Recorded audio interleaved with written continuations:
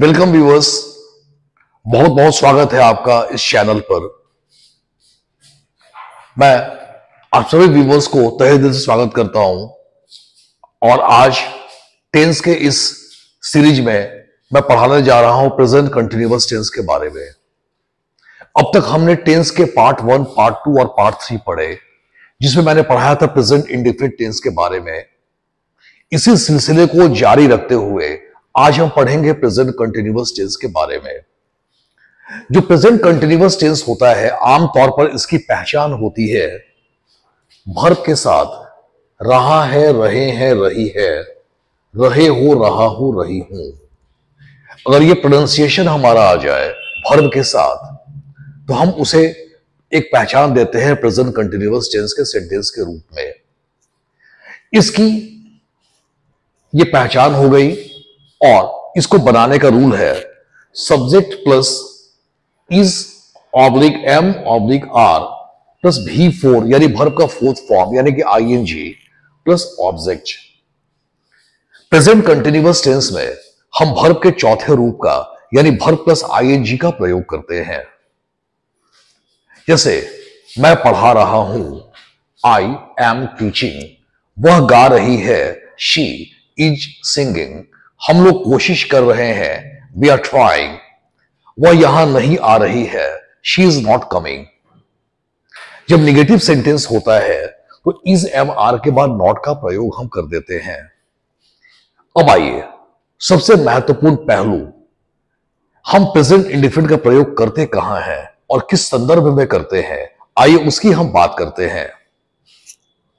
Use of present continuous tense present continuous tense का जो पहला यूज़ होता है to show on going action at the time of speaking बोलने के समय या बोलने के दरमियान जो काम चल रहा होता है, उसके बारे में बयान देना या उसके बारे में बोलना to show on going action चल रहे हुए घटना at the time of speaking जब कोई सब्जेक्ट या कर्ता उस घटना का ज़िक्र करता है, जब वह कोई काम को कर रहा होता है।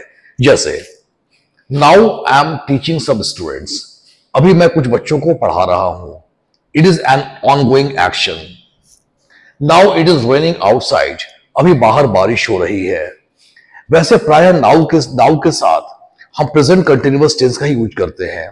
जैसे now I teach now I am teaching now he plays not now he is playing now she works no now she's working.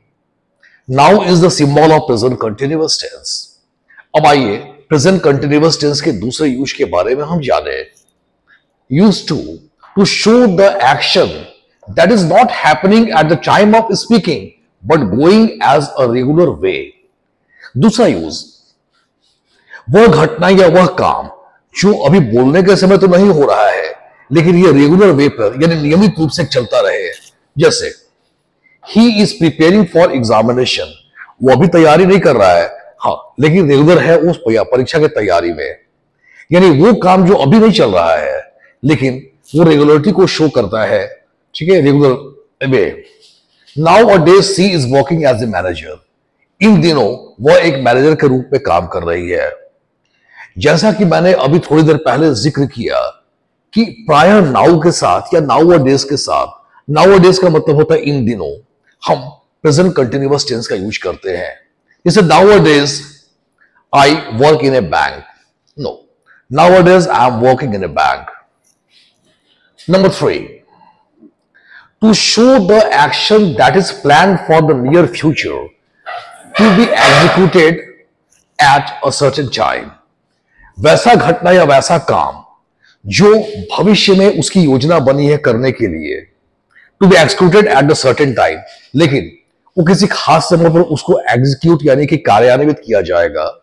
यानी वैसा काम जिसका मैं योजना बनाई है और वो काम भविष्य में किसी निश्चित समय पर उसको अंजाम दिया जाएगा एग्जीक्यूट किया जाएगा। जैसे the prime minister is visiting Nepal tomorrow प्रधानमंत्री कल नेपाल की यात्रा कर रहे हैं। ये प्लानिंग है, एक योजना बनी है, लेकिन निश्चित समय पर कब भाई? कल। I am going to submit a form on Monday मैं सोमवार को एक फॉर्म जमा करने जा रहा हूँ। ये हमने प्लानिंग किया है एक सर्टेन टाइम के लिए। जैसे, वो अगले महीने मुंबई जा रही है। It is a planning she is going to Mumbai next month तो इन खासकर तीन चीज़ों के लिए हम प्रेजेंट कंटिन्यूअस टेंस का यूज़ करते हैं। और जब निगेटिव बनाना हो तो इज़ एम आर के बाद नोट लगा देते हैं। जब इसको इंट्रोगेटिव बनाना हो तो इज़ एम आर को पहले लिख देते हैं। क्या? तुम आ रहे हो? आर यू कमिंग डब्ल्यू बनाना हो सेम प्रोसेस तुम कब आ रहे हो? वेन आर यू कमिंग क्या वह बात कर रही है? इज़ शी टॉकिंग वो क्या बात कर रही है? वॉट इज़ शी टॉकिंग क्या तुम लिख रहे हो? आर राइटिंग तुम क्या लिख रहे हो? वॉट आर राइटिंग तुम क्यों लिख रहे हो? वाई आर राइटिंग तुम कैसे लिख रहे हो? हाउ आर यू राइटिंग जो हमने टेंस के पार्ट थ्री में इंट्रोगेटिव सेंटेंसेस के बारे में पढ़ाया था यस नो क्वेश्चन और डब्ल्यू एच क्वेश्चन बिल्कुल वही रूल प्रेजेंट कंटिन्यूअस के इंट्रोगेटिव का भी हो जाता है। जब यस नो क्वेश्चन बनाना हो तो इज़ एम आर को पहले कर देंगे। डब्ल्यू एच बनाना हो तो उसके पहले डब्ल्यू एच लगा देंगे। ये रहा प्रेजेंट कंटिन्यूअस टेंस का एक संक्षिप्त वर्ड होगा विवरण। व्यूवर्स आपको पसंद आया होगा, मैं उम्मीद करता हूँ। और मैं एक असाइनमेंट देने जा रहा हूँ इसको बनाने के लिए, और इसका आंसर अगले क्लास में दिया जाएगा। Thank you very much for watching me मैं जा रहा हूँ बताने के लिए पिछले असाइनमेंट का सही answer first the doctor doesn't know how to operate the patient number two he doesn't mind playing with children. Number three, this company doesn't provide good facilities. Four, it doesn't provide a better opportunity. Five, the lady doesn't support the customers. Six, the teacher doesn't teach how to keep the environment clean. Seven, he doesn't understand the importance of time. And eight, I don't mind being your friend. Thank you.